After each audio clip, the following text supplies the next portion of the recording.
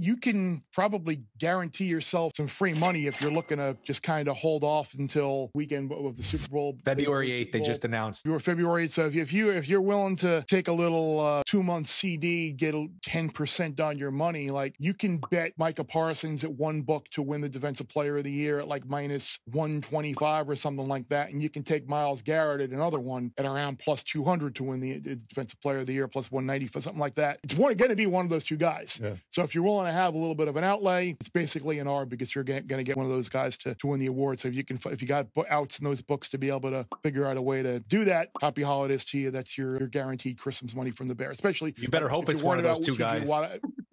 Well, I've who, seen well, your bets. Well, that's the thing. You better hope it's one of them. No, you're good. You're probably good. But oh, believe me, after Millwall scored twice at Leicester on Wednesday afternoon, I need all the resources available to, to try and recoup from that.